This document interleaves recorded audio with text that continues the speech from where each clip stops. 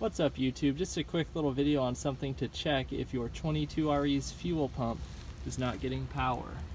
So once I got this 22RE and this abused 85 4Runner cranking, I then wondered why I wasn't getting fuel. So I checked the power at the fuel pump, which is super easy. Don't need to show how to do that.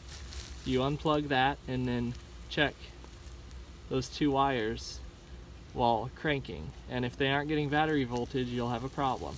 You can also, just to make sure your fuel pump is working, bring a battery back there and jumper the battery straight to the fuel pump plug, and then it will pump fuel. So you can check under the vehicle or in here, check these wires, and they go through the floor right back, no, no, they go through the floor right here. You can check right here for voltage at these wires while cranking, and then you know, if there's an issue with the wiring between there and the fuel pump, that will tell you. Then that plugs into the ECU, I believe. No, I don't know. It plugs into something, but the next thing upstream that I checked was the circuit opening relay. If you look up no power to the fuel pump, this is what everyone talks about. So you need to take your glove box out and then it's right back here above the ECU. The ECU goes like so, or was in here in this one. ECU's like so, circuit opening relay is behind that, above it, plugged into here. So, this middle part of the plug is battery voltage.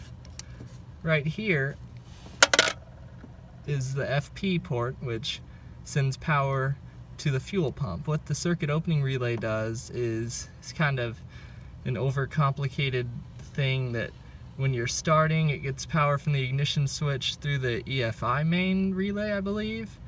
And then once it detects that air is flowing through the AFM, it switches to another circuit or something. And then you get, I, I think it's power just from the battery at that point, but it switches between two little modes. And I tested this one, I ohmed this one out, and I think it was good. But anyways, quick thing you can do is plug a jumper wire between the middle one and this, which is the FP one. There's a diagram on the 4Crawler website. Plug a jumper wire in there, then when you turn the key, you should hear the fuel pump.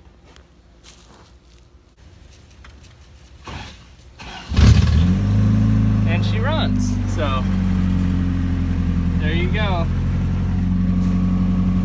Just bypass the circuit opening relay. Now I don't know where you can buy these because I'm just gonna grab one off of my Parts 87, but yeah. Before that, I had nothing. And another little test you can do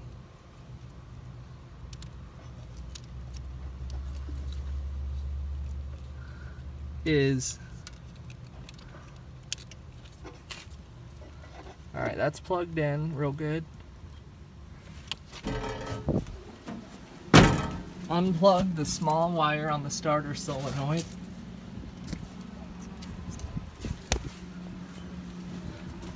And crank it and you should be able to hear the relay click. Nada so I do believe that's a bad relay and they can ohm out good, but still not function. So that's some info on that. Just spent a couple hours tracking that problem down and yeah. I'd also do a video of rebuilding the knuckle. This thing broke because the full hydro steer was pushing against tracks and it broke uh, some knuckle studs, broke the knuckle, but gonna get her going again. She's a party machine.